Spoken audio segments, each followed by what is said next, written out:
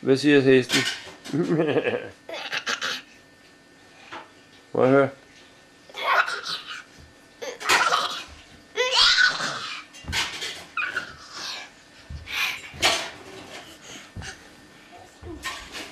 Så lige hesten ud.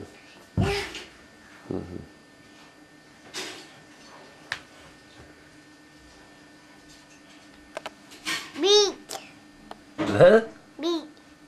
Ja, det er din, ja.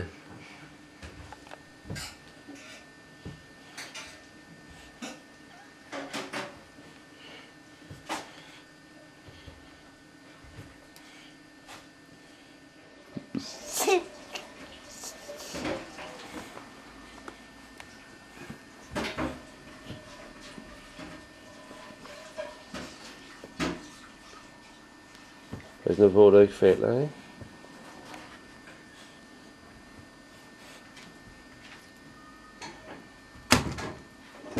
Hvor skal du hen? Du ved at tage tøj på, kammerat.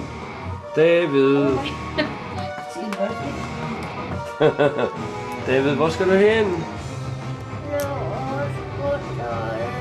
Ja, hvad?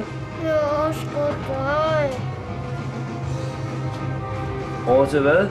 Jeg har også skotøj, for jeg.